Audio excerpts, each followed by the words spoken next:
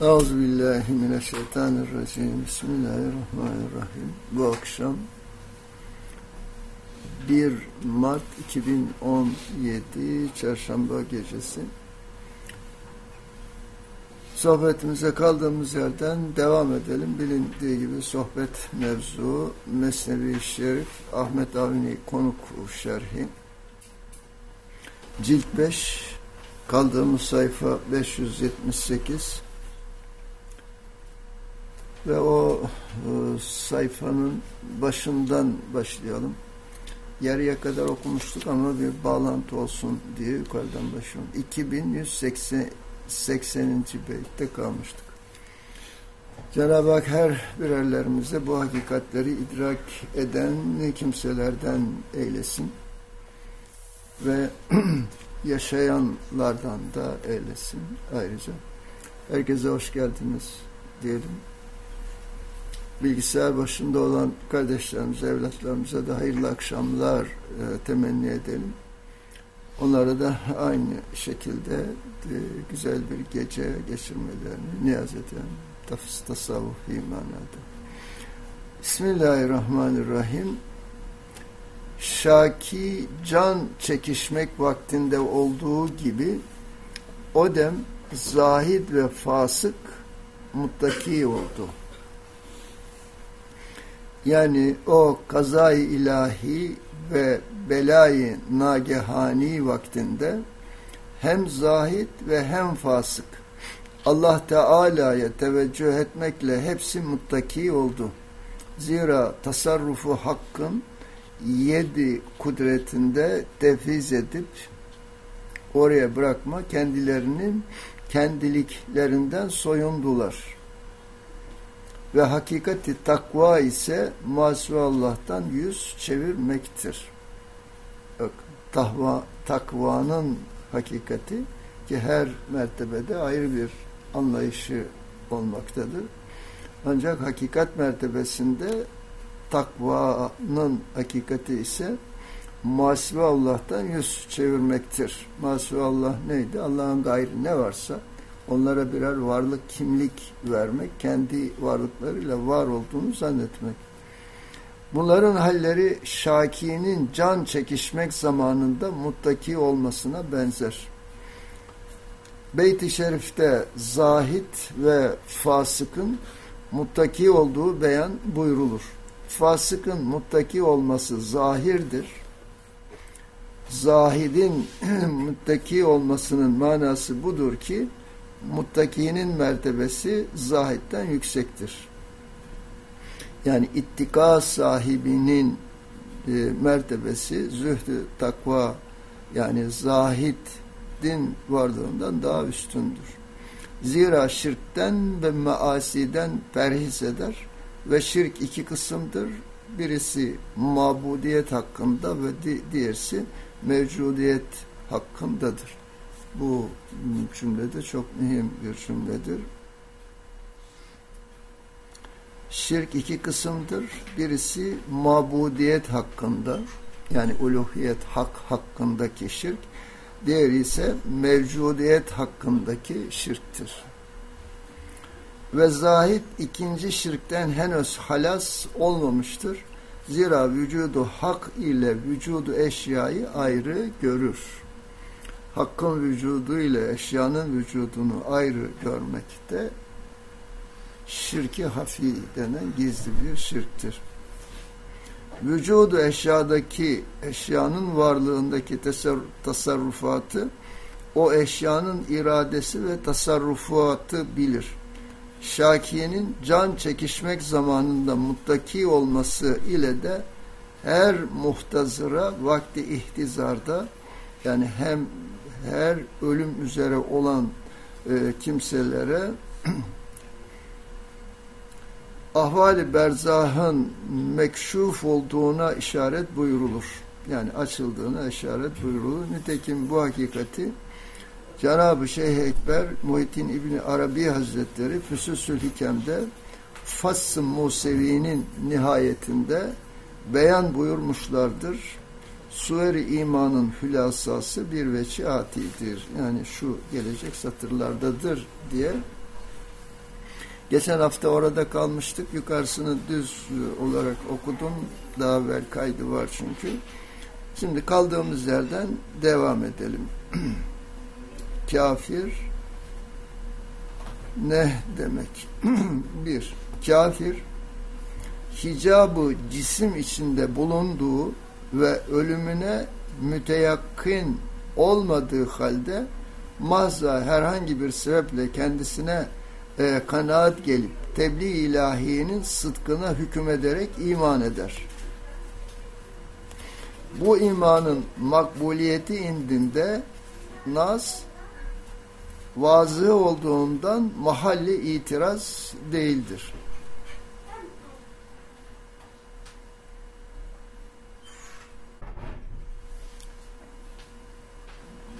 Birincisi bu. ikincisi kafir vakti yeiste yani sıkıntılı bir zamanda azab ilahiyi gördüğü vakit iman eder. Bu da iki nevidir. A. Bu iman sebebiyle kavmi Yunus gibi dünyada muazzeb olmaz ve ahirette faide görür. B. imanıyla beraber dünyada muazzeb olursa da ahirette bu imandan faide görür.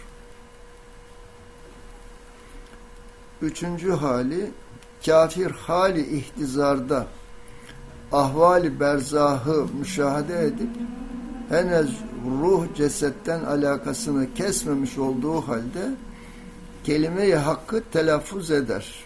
Yani la ilahe illallah der bunun imanında ihtilaf vardır. Bir taife indinde onun imanı makbuldür. Zira onun hali üzerinde olduğu şey üzerine kabz olunduğu gibi öldüğü şey üzerine haşrolunur. Hadisi şerifine mutabıktır. Yani hangi halle ölüyor, öldüyseniz o halle dirilirsiniz mahşerde diye belirtilen hadis. Buna senet gösteriliyor.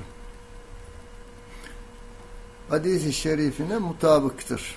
Yani buna uygundur. Ve alemi ahirete bulunduğu hali iman üzere intikal etmemiştir. Ve bir taife indinde makbul değildir. Yani yukarıda bahsedilen hal şu şekilde diyor. Son anda iman etmiştir. Ama onun yaşadığı süre içerisindeki hali bu değildir. O halde e, o şekilde ahirete intikal etmemiş hükmünde sayılır. Genel olarak yaşadığı hayattaki idrak, anlayış, hayata bakışı nasılsa o hal ile ölmüştür, o hal ile dirilecektir ve bir taife indinde makbul değildir. Zira bunun hali Allah Teala'nın Enam 6'ya 158 ayetinde belirttiği gibi yani o gündeki Rabbinin bazı ayatı gelir evvelden iman etmeyen nefse imanın nefi olmaz kavli şerifine mutabıktır. Fakat bu ayet vaittir yani vaat edilen bir ayettir. Ve kerim olan Allah Teala Hazretleri Vallahu gafurur rahim Bakara 2'ye 218 Allah gafurdur, rahimdir ayet kerimesiyle vaidinden tecavüz buyuracağını vaat etmiştir. Yani vazgeçeceğin bazı hallerde de vaat etmiştir. Binaenaleyh son nefeste kelime-i hakkı telaffuz eden ve sıdkına cezmeden kimsenin imanı nafi olmayacağına delili kat'i bu da değildir diyor. Yani imanı giderici olmayacağına delili kat'i değildir. Bu konu bilindiği gibi oldukça ihtilaflı bir konudur. Bazıları Allah gafurur rahimdir diye son anda söylenilen birkaç e, kelime ile, kelime-i tevhid ile veya o andaki sıkıntı haliyle e, yapmış olduğu imanı Ee, Cenab-ı Hak bir ayet-i kerimede İnnallaha yafuruzunu ve cemi'a hakikati itibariyle bütün günahları affeder hükmüyle e, bunun e, kabul edilebileceğini söylemekte. E, bazıları da bir ömür boyu isyan içerisinde bulunmuş olan bir kimsenin son anda sadece birkaç kelimeyi tevhid söyleyerek kurtulmasının pek mümkün olamayacağı yönünde kanaatleri vardır. Bunlar hakkında bizlerin bir şey söyleyecek halimiz yoktur. Yani olabilir, olmayabilir gibilerde.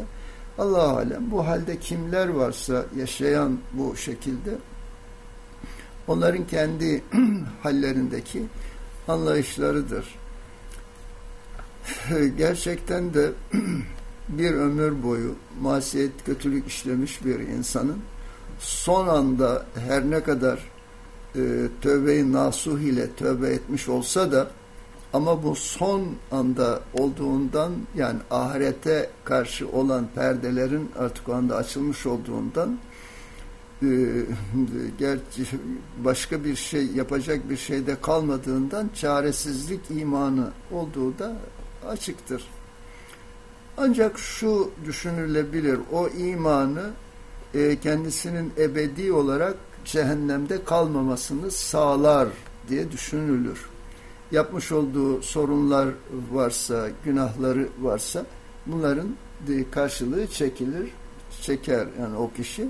Adalette bunu gerektirir zaten. Bir insan bir ömür boyu ibadet etmiş, etmiş, etmiş, e, bir ömür boyu diğeri ibadet etmemiş, hep nefsinden tarafa hayatını sürdürmüş İkisinin bir arada olması tabii ki hakkani de olmaz.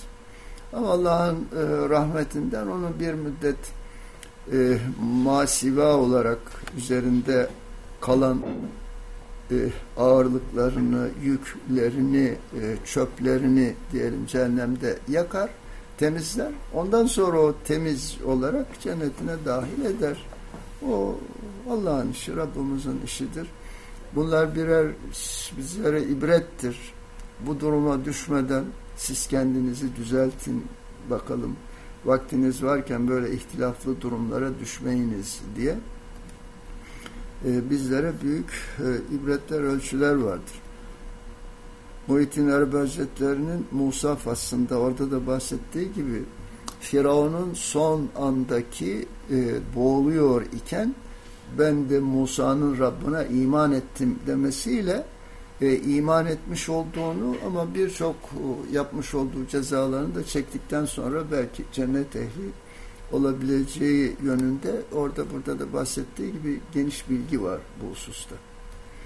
Ama bizim yapmamız gereken şey böyle ihtilaflı durumlara düşmeden aklımız başımızdayken, vaktimiz var iken bu durumlara e, düşmemek ihtilaflı bir konuya girmemek en sağlamı, en güzelidir. Bütün bu çalışmalardan sonra e, kişi e, ama Cenab-ı Hak onu yine cehennemine atarsa o zaman diyecek bir şey yok. O da onu da sabretmelidir.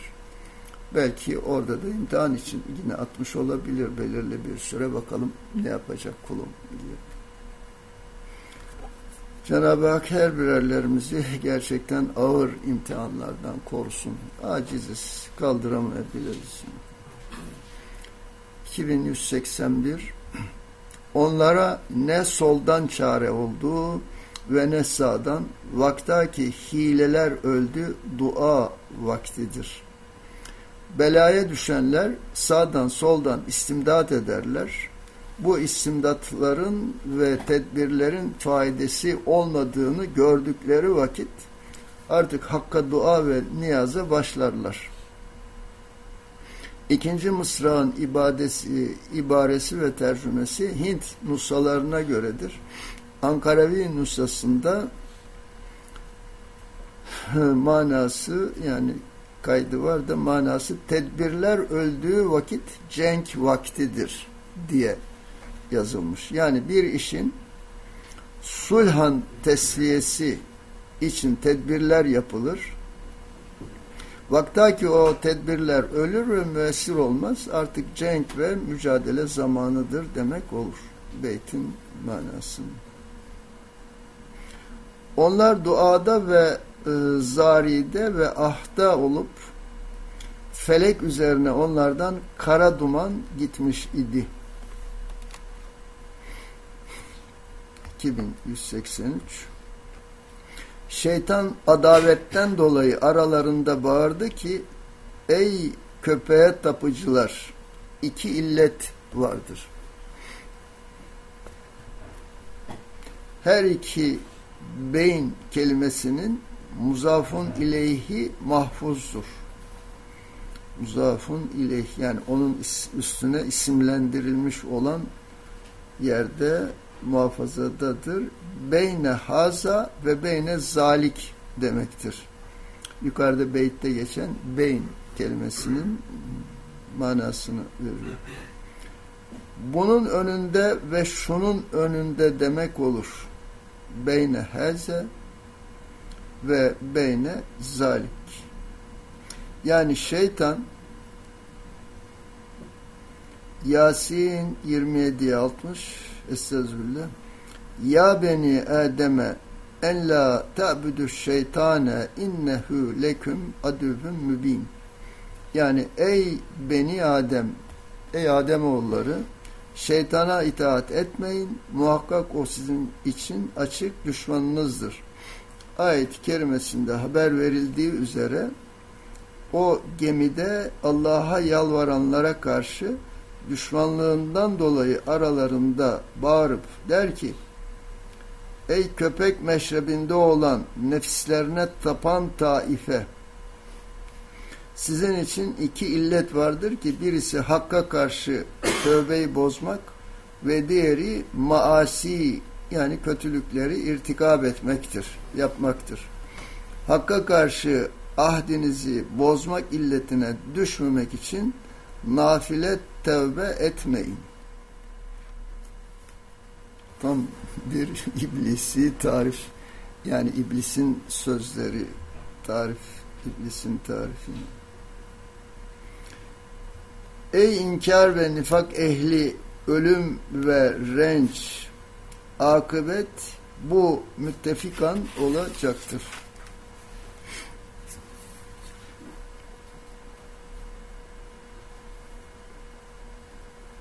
Şeytanın hitabının mabadıdır.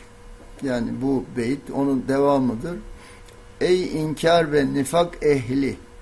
Eğer siz ölüm ve rençten, renç incinme manasıymış. Ölüm ve incinmeden kurtulmak için bu tövbeye ve münacata başladınız ise hiç faydası yoktur. Çünkü ölüm ve renç ve bela bu hayatı dünyeviyenin icabatından olup akıbet müttefikan ölüm herkesin başına gelecektir.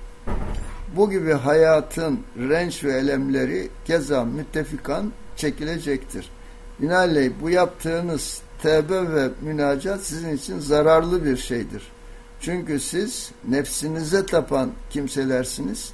Karaya çıktıktan sonra bu tövbelerinizi bozacaksınız ve tövbeyi bozmak ise daha büyük felaketin vukuuna sebep olacaktır diye oradaki kişilerin haleti ruhiyelerini böylece anlatmaya çalışıyor. Daha evvel görmüştük ya hani de, Dekuki namaza başlayacaklardı. Deryada bir geminin batmakta olduğunu, dalgalarla boğuşmakta olduğunu gördüler ve orada ona dua etmeye başlamıştı. Onun o halin devamını veriyor. 2185 Halastan sonra gözünüz yaş olur mu? Zira şiddetli arzu için hususi şeytan olursunuz. Ey nefislerine tapan efendiler, şimdi bir bela ve korku içinde ağlayarak yalvarıyorsunuz. Kurtuluş kurtulup karaya çıktıktan sonra da gözünüz yaş olur mu? Böyle hakka karşı yalvarıp ağlar mısınız? Hayır, ağlamazsınız. Zira şiddetli nefsani arzularınızın hükmünü icra, icra etmek için her biriniz o arzulara has olan birer şeytan olursunuz. Yani her ne kadar şimdi çok dua ediyorsanız da bu ölümden, boğulmaktan kurtulmak için ama bundan halas olduğunuz zaman, kurtulduğunuz zaman yine eski halinize dönersiniz diye ifade ediyor. 2186 Yezda'nın bir gün tehlikede kader cihetinden elinizden tuttuğu hatırınıza gelmez. Şiddetli nefsani arzularınız ile meşgul olup tövbenizi ve ahdinizi Hakk'a karşı nakz ederken Yezda'nın size bir gün tehlikeden ve helaktan kaderinizin icabı olarak elinizden tutup kurtardığı hatırınıza bile gelmez. Yani Allah'ın sizi bu sıkıntıdan kurtardığı hatırınıza bile gelmez. Neden? Çünkü artık rahata kavuşmuşsunuz. O sıkıntılı halden kurtulmuşsunuzdur. Demek ki bir bakıma sıkıntılı haller biraz rahmet oluyormuş. Hakka bizleri döndürmek için aman e, demek için de kişinin biraz sıkıntıda olması lazım ki aman desin durduğu yerden aman demez. İşte bunun örnekleri zaten yaşanıyor. Doğulu neden daha çok ibadet ehli bir bakıma a, a, aman ehli? Fakirlikten, sıkıntıdan. Batı niye aman demiyor benim diyor. Neden? Çünkü her şey var, şeye ihtiyacı yok. Demek ki ikisi arası olmak en güzel. Yani ne çok fakir ne çok zengin. 2187 e, şeytandan bu nida gelir fakat bu sözü iyi kulaktan başkası işitmez. Şeytandan nida gelmesi kalplere kalplere gelen hatıradır veyahut insan suretinde olan ve akıl geçinen bir takım e, hümakadır. Hamlardır yani. Suret-i zahirede mantıkı ve makul görünen bir takım havatır ve beyanat yani hatıralar ve beyanlar, sözler ile faydalı bir amelden alıkoymak isterler ve halkın pek çoğu da bu dışı yaldızlı olan e, zehirli hapı yutarlar. Fakat Arif onların iyi ve saf olan can kulakları bu vesveselerin ve ilkaatın doğrusunu alıp eğrisini atarlar. Ee, diğer e, düz okuyarak geçiyorum çünkü bilinen şeyler ancak şu son cümle üstünde biraz durmamız gerekecek. O da şu demek. Şeytandan nida gelmesi kalplere gelen hatıradır veyahut insan suretinde olan ve akıl geçinen bir takım humakar, hamlar, ahmaklardır. İşte e, model isminin e, insanlara iki yönden tesiratı olmakta. Ne yönden? Nefsi manada. Ancak sureta rahmani e, görünerek e, kendisinin Hadi isminin tecellisinde olduğunu bizlere anlatmaya çalışmasıdır. Ama altında Mudil isminin hakikati vardır veya yaşantısı vardır. Bunların birisi ilham gibi isimler altında bazıları ilham derler, tecelli derler, varidat derler. Kaynağı bilinmeyen bazı e, vesveseler gelirse insan içerisine bunu mutlaka ihtiyatla kabul etmesi lazımdır. Bana Allah'tan ilham geldi, bana haktan şu veya bu şekilde e, bazı bilgiler geldi veya iltifatlar geldi. Sen işte ne güzel namaz kıldın, ne güzel oruç tuttun. Yok senin gibi bir namaz kılabilen gibi böyle sırtını okşayıcı, medih edici havatır, hatıralar gelirse bunu ihtiyatla karşılamak lazımdır. Hemen doğrudur diye kabul etmemek lazımdır. Yapılacak şey ayrılabilmesi için şeriat kurallarına vurarak şeriat Muhammediye'ye ters midir, uygun mudur? Eğer uygun ise alınır, gerektiği zaman kullanılır, tatbik edilir. Eğer değilse hemen hemen uzaklaştırılır.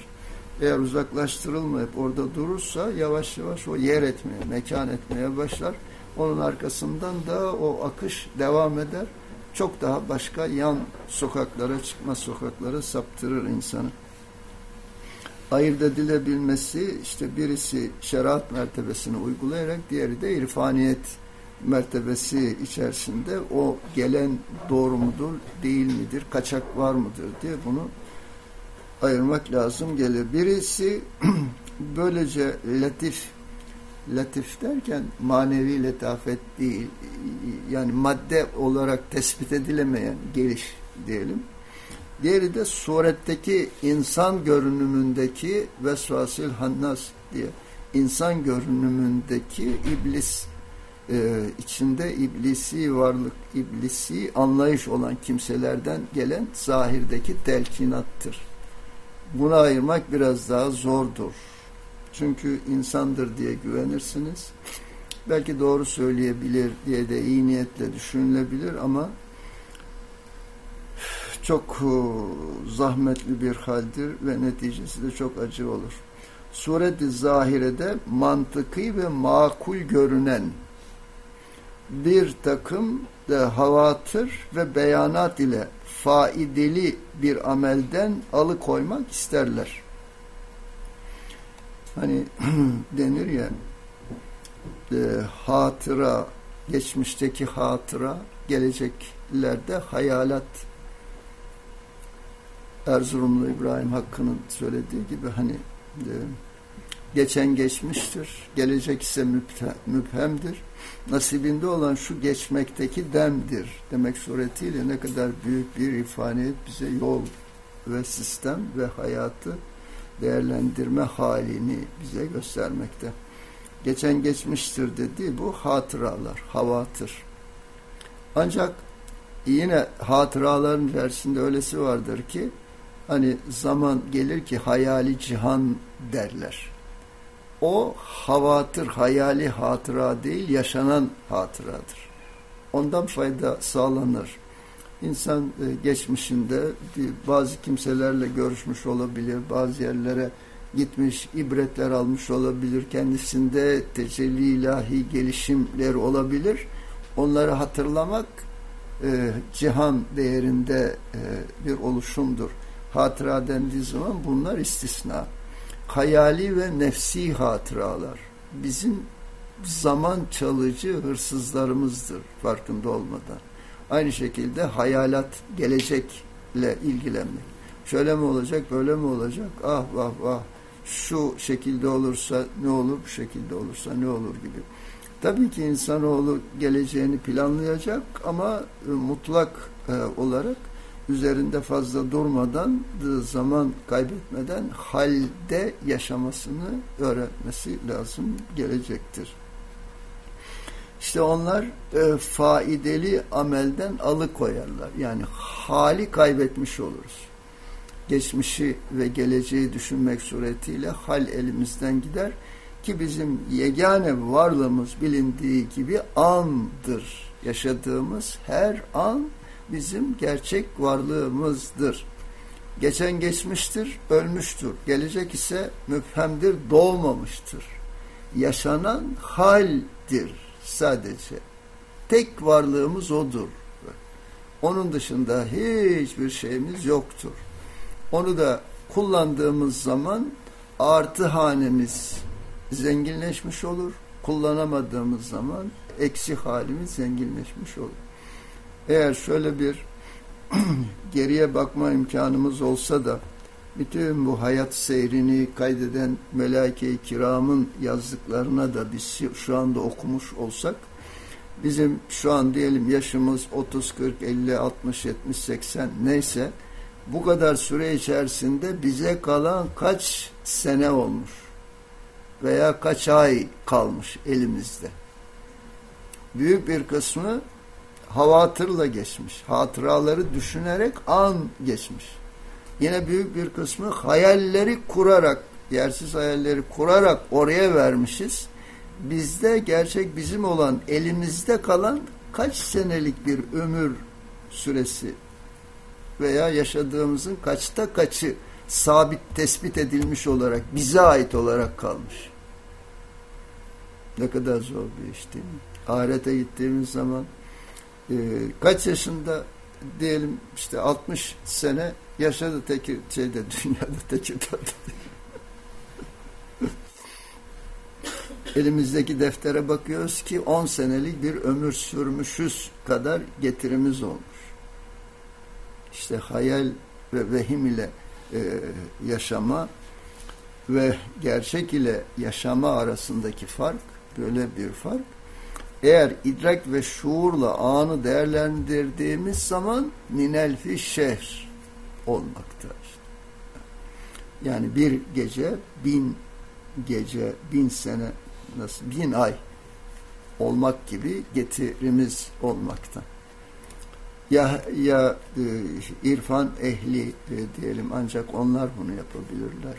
Ehli zahir, ehli şeriat bu sahayı bilmediği için bu bereketi bilmezler. Her geceni kadir bil, her gününü bayram denildiği üzere her gecemizde bu idraki yaşadığımızdan her gece bizim için min elfi şehir olur. Bu da sadece halde yaşamakla mümkündür.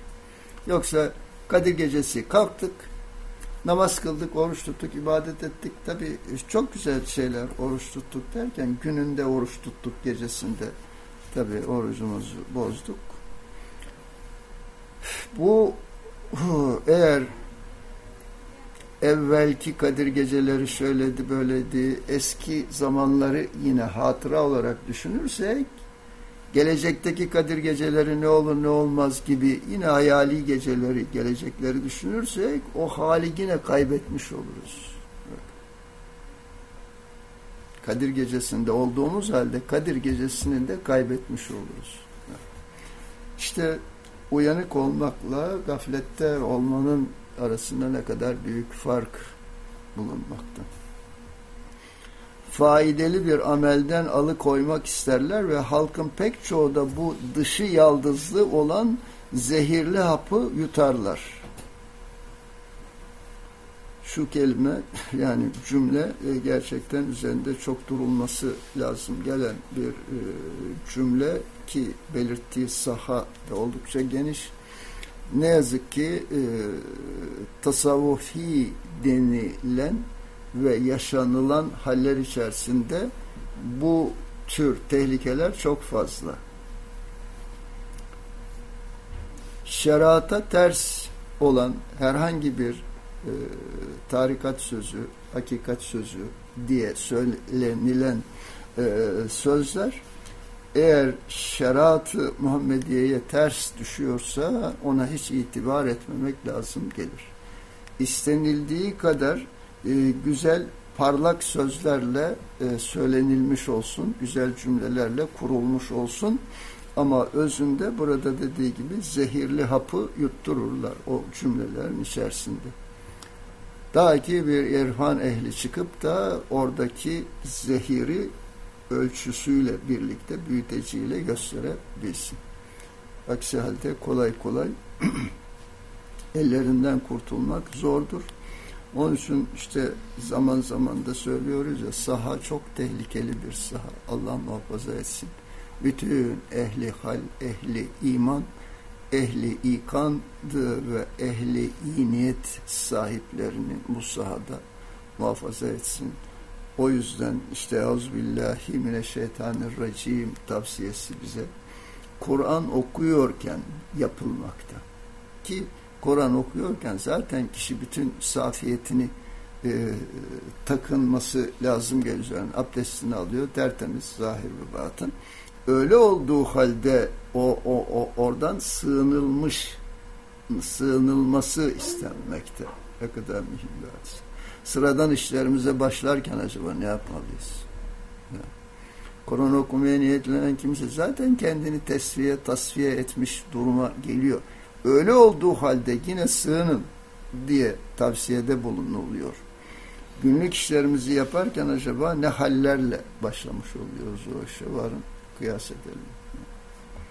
Allah etmesin. Fakat arif olanların iyi ve saf olan can kulakları bu vesveselerin ilkatının doğrusunu alıp eğrisini atarlar. Bak ne kadar güzel cümle kurulmuş. İşte herhangi bir öyle ilkaat gibi, vesvese gibi bazılarının tecelli, doğuş, ilahisi gibi ilham gibi diye ifade ettikleri e, hallerin ölçüsü varsa kişide onların içinden doğru kelime olabilir, cümlenin içerisinde doğru kelime olabilir. Onu alıp eğrilerinde atması lazımdır. Nasıl manava e, gidiyoruz, çarşıya gidiyoruz, portakal seçerken içlerinden nasıl çürük olmayanlarını seçiyoruz? Oraya kötü niyetle o satıcı onları koymamış olabilir. Bazı satıcılar da kötü niyetle koymuş olabilir. Bozuğu da sağlamın yanında versinler diye. Görürüz zaten. Bir alırsınız üstü ne kadar güzel görünür ama altı bir bakarsınız ki çürüktür, arızalıdır. Aynen e, işte onlar da e, güzel gösterirler. Bütün cümlenin görüntüsünü güzel gösterirler ama o cümlenin içerisinde öyle bir zehir koyarlar ki hepsini alt üst eder. Allah etmesin. Mesela bazı inanışlar, anlayışlarda ne diyorlar? Efendim biz artık hakla hak olduk. Kime ibadet edeceğiz? İbadet etsem şirk olacak diyor. Nasıl ibadet edeyim diyor. Bakın ne kadar yaldızlı parlatılmış bir söz.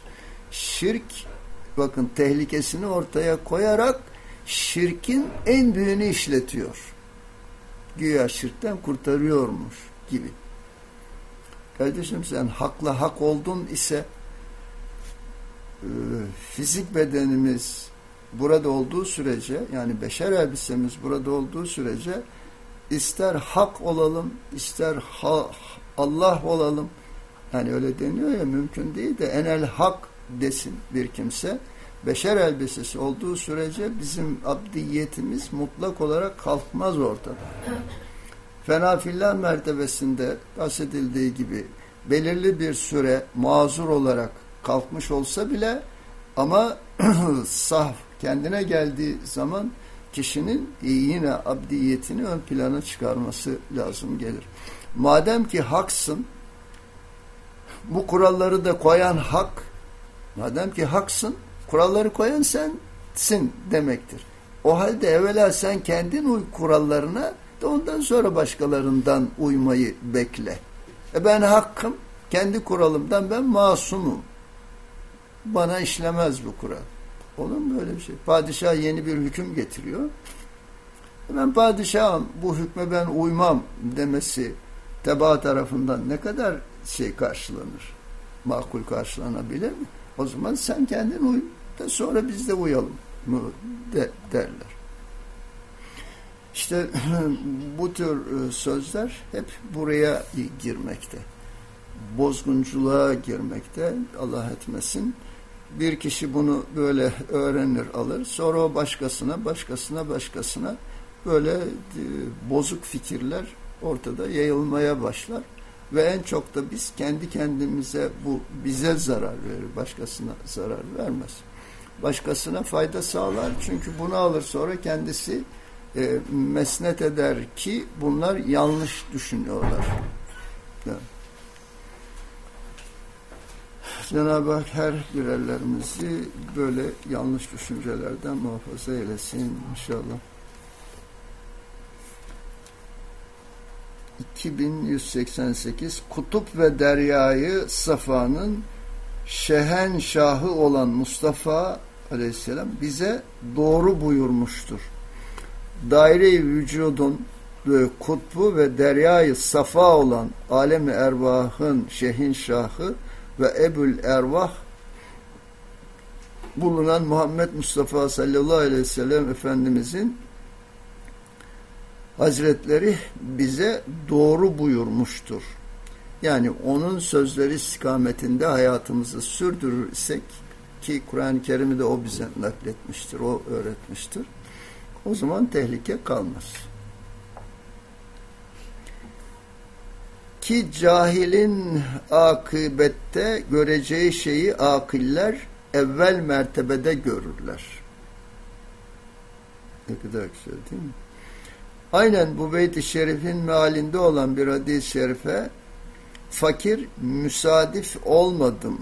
Yani tesadüf etmedim. Bu hadisi ben görmedim ama diyor. Hint şarhileri dahi böyle bir hadis-i şerif derc etmemişlerdir. Yani meydana nakletmemişlerdir.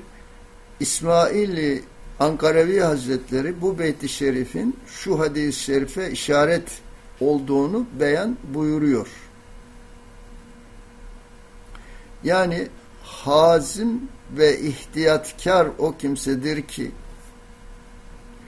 nefsine hükmeder ve ölümden sonra olan şey için amel kılar.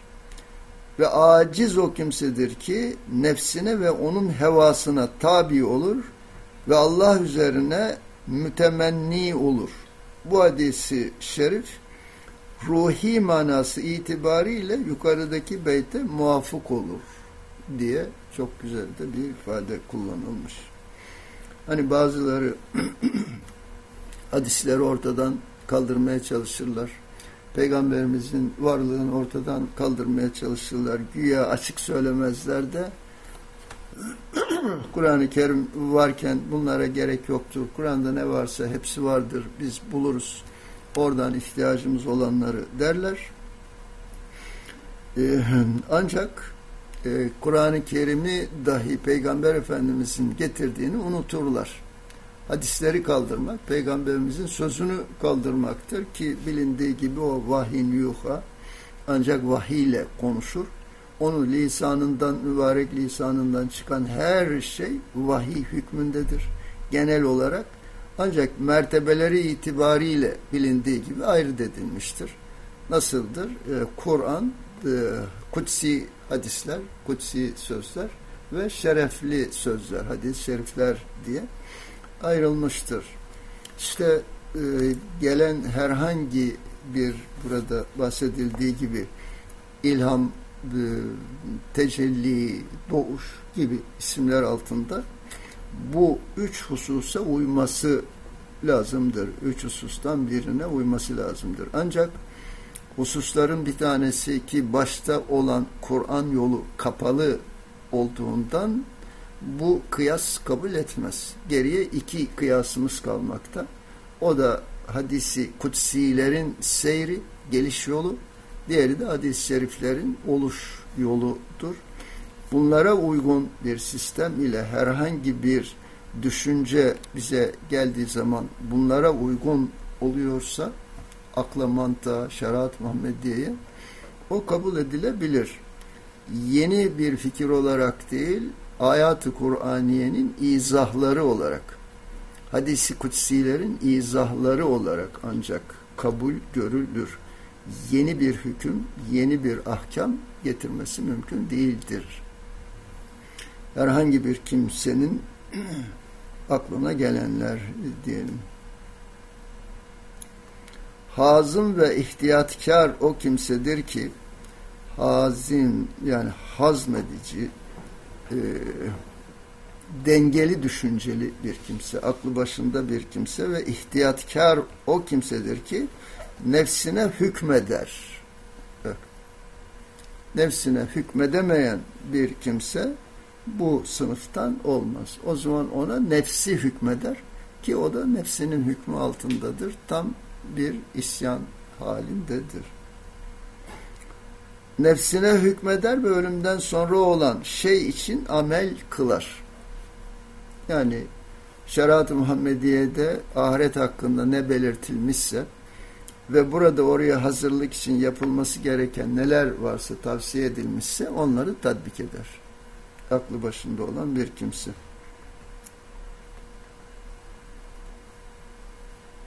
Ölümden sonra olan şey için amel kılar ve aciz o kimsedir ki nefsine ve onun hevasına tabi olur. Ve Allah üzerine e, müteenni olur. Bu hadisi şerif ruhi manası itibariyle yukarıdaki beyte muvafık olur. Şunu e, demek istiyordum. Bir e, cümlenin, bir sözün hadis-i şerif içerisinde dahi olsa tabii ki e, uydurma hadislerde dilimize girmiş ne yazık ki. Ancak ulema-i kiram bunlar üzerinde çok titiz çalışmalar yaparak büyüklerimiz, eski iştihat sahibi büyüklerimiz, imamlarımız e, hepsini ayırmışlar. İhtilaflı olanları da belirtmişler. Şu kişi ravilerin arasında bulunan kişi pek güvenilir kimse değildir diye oraya kadar teferruatlarıyla bildirmişler. Senetleriyle birlikte bildirmişler. Ama yine de onların içerisine ihtimal dahilinde e, uydurma hadisler girmiş olabilir. Ancak arif olan bir kimse o hadisin beşer lisanından mı çıktığını ilahi bir kuruluş mu olduğunu ki hadis, ayet, Kur'an bunlar ilahidir. Onu kokusundan, renginden anlar. Yani iki e, metin getirilse, arif bir kimseye iki metin getirilse ki bunların ne olduğu bildirilmese, hadis veya uydurma bir cümle olduğu bildirilmese, o bunları seçer. İnşallah seçer. Çünkü beşer aklından çıkan cümle kuruluşu beşer kokusu verir, nefis kokusu verir. Çünkü onun idraki, anlayışı ilahi manada açık olmadığından e, sahası çok dar olur. Yani o cümle kuruluşunun ifade ettiği saha çok dar olur.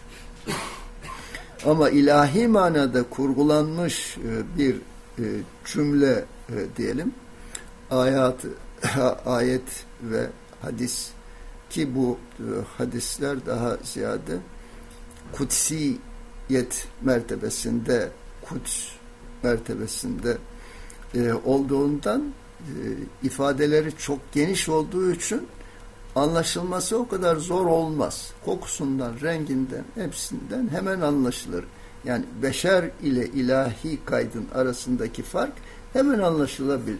Hele biraz tecrübesi varsa o kimse onun e, şey altına girmez, hükmü altına girmez, vicdanen de müsterih olur. Ben acaba hadis diye belirtilen şeyi terk mi ediyorum diye böyle bir düşüncesi olmaz.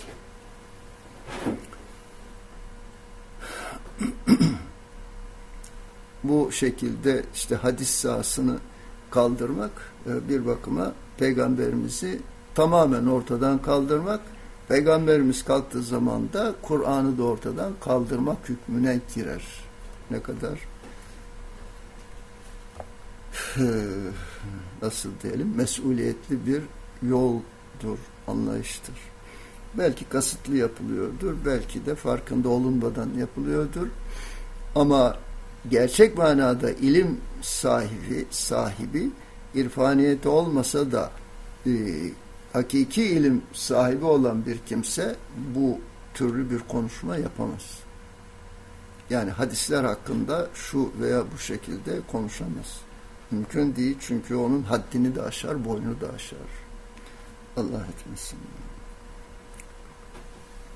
bu hadis-i şerif ruhi manası itibariyle yukarıdaki beyte muvafık olur diyor bakın. Aynı sahadaki tatbikatı Ahmet Avni Konuk bildiriyor. Ben böyle bir hadis görmedim diyor. Ankarevi Hazretleri de bunu bir hadise dayandırmıyor diyor. Ama Hint e, alimleri şöyle bir hadis olduğunu ve ona mutabık olduğunu söylüyorlar ve de bu mana itibariyle de buna uygundur diyor. Hadis şüphelidir. Başka yerde görmedim. Böyle bir hadis yoktur gibi o yola gitmiyor. Neden? Çünkü o kokuyu almış yukarıdaki e, Mevlana Hazretlerinin Beyt-i Şerifine uygun tam onun tatbikidir. destekleyicisidir diye de ifade ediyor. Gerçi işler başlangıçta gayiptir ve sırdır. Akil ol ve o musır olan sonunda gördü. Her bir işin akıbeti gerçi başlangıçta meçhul ve mesturdur. Yani herhangi bir işe başlarken kimse onun sonu daha henüz tahakkuk etmediği için örtülüdür, meçhuldür. Fakat akıl o akıbeti o işin başlangıcındaki e, gidiş haline nazaran, revişine nazaran diye geçiyor. Evvelen görür. Hani ileri görüşlü derler ya. Bu ileri görüşlü e, demek tecrübeleri ile bunun neticesi aşağı yukarı anlaşılır demek.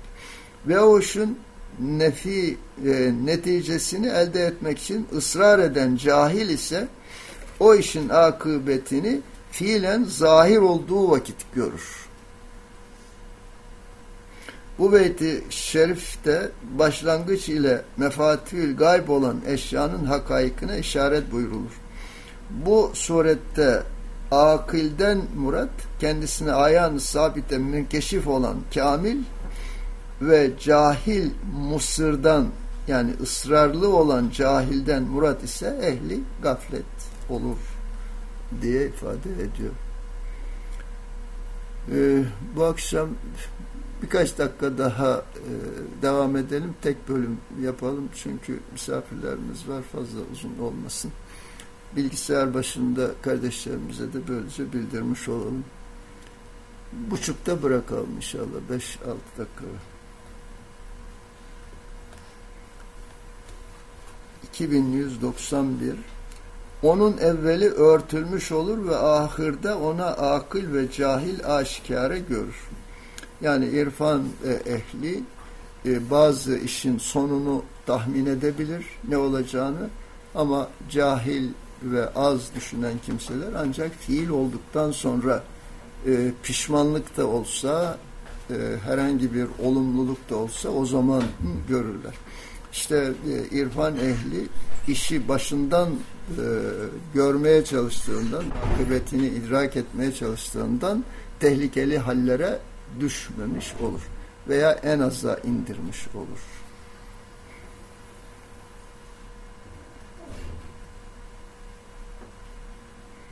O işlerin evveli örtülü ve kapalı olur. Onları ancak akıl görür.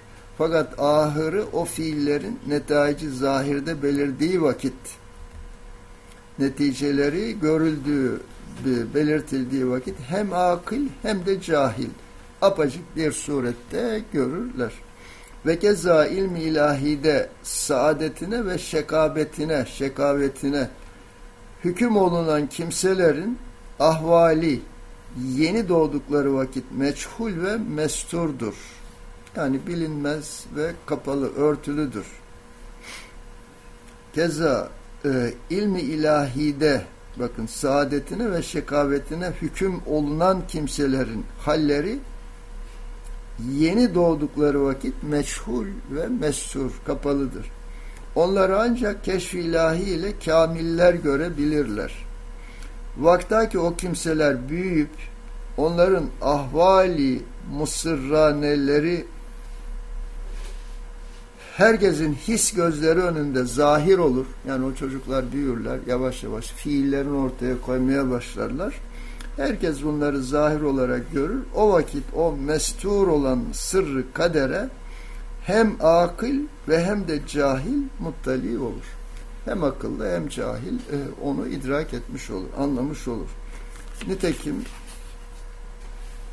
Ebu Cehil ve emsalinin şekavette ısrarları onların mesur olan sırrı kaderlerini hem kamil ve hem de cahil önünde meydana koydu. İşte tebliğ ilahi olmamış olsa idi daha evvelce yaşamış olan Mekke halkı kendi aralarında e, geçinip gidiyorlardı. Kimsenin iman ve inkar diye bir sorunları yoktu o zaman. Gerçi onların da kendilerine ait e, tapınakları vardı, tapındıkları e, putları vardı. Orada İbrahim Aleyhisselam'dan e, kalma e, İsmail Aleyhisselam'ın devamı olan bazı varlıklar, kimseler vardı. Ama bu kadar açık e, olarak ortada değillerdi. Ne zaman ki Peygamber Efendimiz onlara dini mübin İslam'ı tebliğ etti, o zaman e, Hadi ve Modil isimleri çok açık olarak belirgin oldu. Daha evvelce bilindiği gibi Ebu Cehil'in e, yine e, takma ismi neydi? Ebul Hakem yani hikmetin babası gibi idi. Neden? Diğer normal akıllılara göre gerçekten de üstün bir aklı vardı. Hep ona gelir danışırlardı. Biraz zenginliği de olduğundan da itibar görürdü. Ama ne zaman aklı kül e, devreye girdi, Peygamber Efendimiz onu tebliğ etmeye başladı. O kendi aklını yine ondan da üstün görmek suretiyle ben zaten e, Ebul Hakem yani benim aklım bana yeter e, gibilerde bu aklıyla yaşamasına devam etti. İşte bu yüzden e, cehalet devrine göre kendi aklı üstün bir akıl iken, hikmetli bir akıl iken ama aklı kül geldiği zaman e, aklı nefs se dönüştüğünden ayrıca ihtiras da onu e, tetiklediğinden iyice e, inkarına sebep oldu. Yani tebliğ gelmeseydi onlar yine eskisi gibi aralarında yaşayıp gideceklerdi. Böylece işte hem kamil ve hem de cahil önünde meydana koydu onların hallerini. Ey Hakka, e, ey Anut, eğer gayb olan vakayı göremezsen hazmi ve vakit sel kapar. Hazmi ne vakit sel kapar.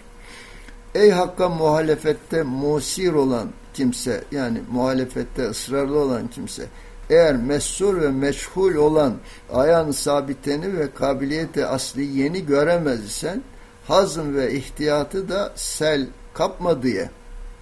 Yani kendi hakikatini göremiyorsan bile dengeli yaşamaya bak. O da gitme diye. Yani o var ortada. Hak Teala peygamberi vasıtasıyla evamirini ve nevahini, emirlerini ve nehilerini tebliğ buyurdu. Madem ki senin nazarında ezeli olan istidadın meçhuldür.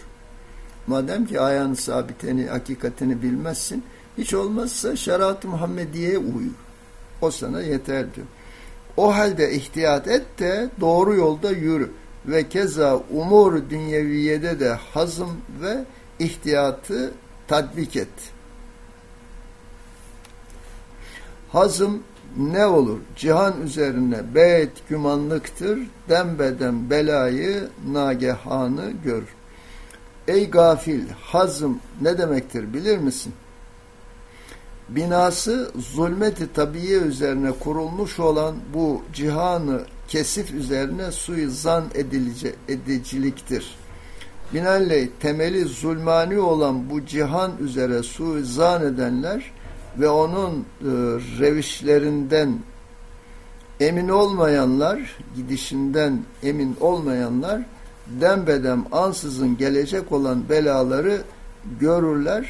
Belanın en büyüğü ise ölümdür.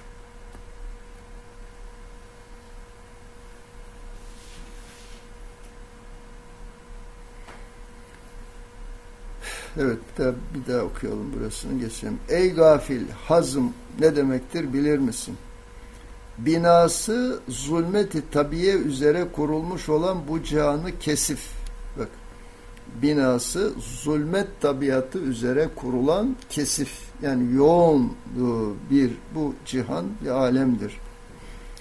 Suizan edilecektir. Binaenley temeli zulmani olan bu cihan üzerine suizan edenler ve onun revişinden, gidişinden emin olmayanlar dembedem ansızın gelecek olan belaları görürler.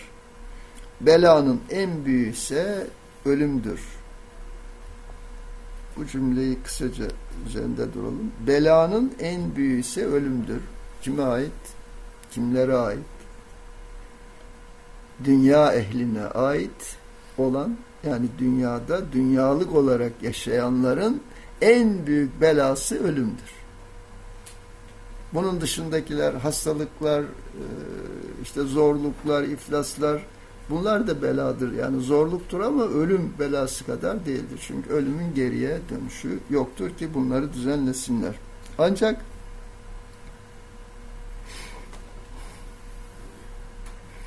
irfan ehline ölüm de yaşam da rahmettir. Ölüm iki türlü bilindiği gibi birisi ölmeden evvel ölmek, diğeri de fiziki manada su, su, suresi süresi dolduğu zaman kişinin bu dünya aleminden kendisinin alınmasıdır. O halde yapılacak e, şey belanın en büyüğü ise ölümdür. Dünya ehline göre e, tevhid ehline göre ise aslında en büyük lütuf ölümdür irfan ehline göre en büyük lütuf ölümdür. Birincisi ölmeden evvel ölünü hükmüyle kendi nefsani varlığından ölüp ilahi varlığı ile daha bu dünyadayken dirilmesi. Yani yeniden yeni bir hayat e, bulmasıdır. Diğeri ise fiziki manada e, ölüm denen hadiseyle nefsin bunu tadışıdır. Bedenimizin ölümle hiçbir ilgisi yoktur. Beden ölümü tatmaz. Toprak neyi tadacak zaten? Ölümü tadan küllü nefsin zaik, zu zaikatül mevt bütün nefisler ölümü tadacaklardır. Tatma ise bilindiği gibi hayatın da kendisidir. Tatması olmayan zaten hayatta olmaz. Yani tat almayan hayatta olmaz. Ee, Cenab-ı Hak bizleri gerçekten de bu hayatın en güzel şekilde değerlendirip Evvela muti kable ente mut ile sonra da ilahi bir bayram neşesi içerisinde fiziki tadışıyla bu dünya aleminden ahiret yolculuğuna e, berzaha doğru çıkması orada bir müddet bekledikten sonra da mahşere gitmesi oradan da nereye Rab gönderecekse oraya ebedi yolculuğuna çıkmasıdır. Cenab-ı Hak her birerlerimizi idrak ve irfaniyet e, yolunda, yönünde e, sabit kadem olarak ayaklarımızı bastırarak ayaklarımızın kaymamasını temin ederek ömrümüzün sonuna getirmemizi nasip etsin inşallah. Salli ve sellim ve barik ala eşrefi nuru cemil enbiya vel murselin velhamdülillahi rabbil alemin bilgisayar başında olan kardeşlerimize de hayırlı akşamlar diyelim. Bu akşamlık bu kadar. Yarım bölümle işimiz bitmiş olsun. Daha sonra görüşmek üzere inşallah herkese hayırlı geceler. Hoşçakalın. Burada bir bölüm başı vardı. Hem de orada kalmış olduk iyi. Hazim olan adamın tasavvurları diye devam ediyor.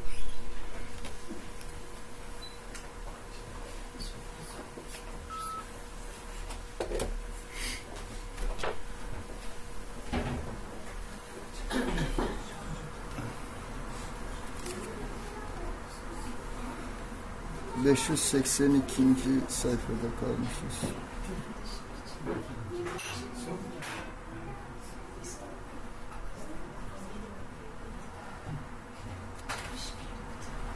Beş yüz